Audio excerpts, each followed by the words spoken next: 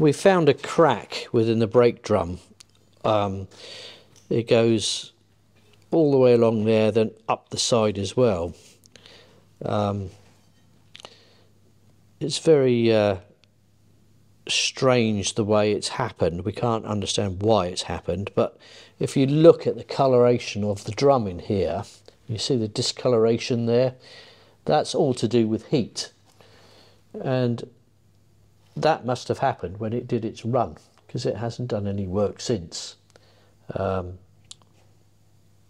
so the drums got very, very hot.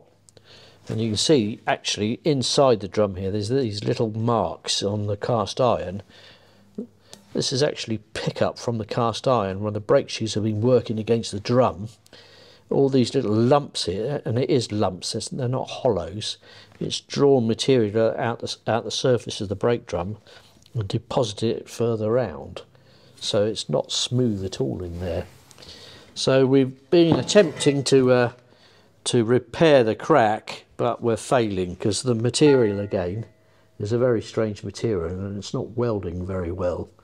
So we're going to have to take advice on on either trying to trying to um, repair that crack, or we're going to have to cast a new drum. So, which is a bit disappointing, and it's uh, quite amazing because normally if you've got a crack in something like this it, uh, it doesn't uh, ring, but this does.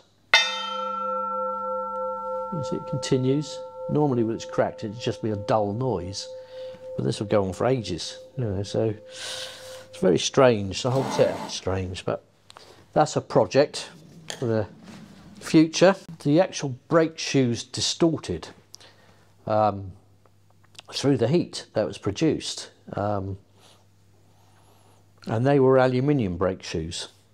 And we've seen pictures of the of the lining on the material moving with a distortion of the uh, of of the brake shoe as it as it got so hot. So this is one of the the brake shoes which we've just had relined. Um, the original lining had been contaminated with oil and grease um, over over the years, so it's just been sat around. Plus, it's pretty well full of asbestos, so uh, we thought we'd better do the right thing and remove the asbestos, reline them, um, which has now been done. We were originally going to bond them on. That was what the lining uh, manufacturer said he was going to do, but he's gone ahead and riveted them exactly the same as they were originally, which is good as far as I'm concerned. So that's all been done now. So all we've got to do is finish off rebuilding all the drums and everything else and then we can refit everything so it's just the lining material was in I think it was in blocks rather than a whole shoe and when Segrave tried to slow the car down initially it got so hot that the brake shoe started started to distort and melt. Um, so all the linings all moved all over the place. So uh, the brakes were absolutely useless. And I believe that he drove it into the surf to slow the car down to um, because it was going so quickly and he didn't have any brakes so he used the surf to slow the car down. But obviously after that attempt they then replaced the brake shoes with these bronze ones so I believe they must have taken bronze shoes with them as well as the aluminium ones because they wouldn't have had time to make patterns and cast new ones because they're quite quite a difficult casting.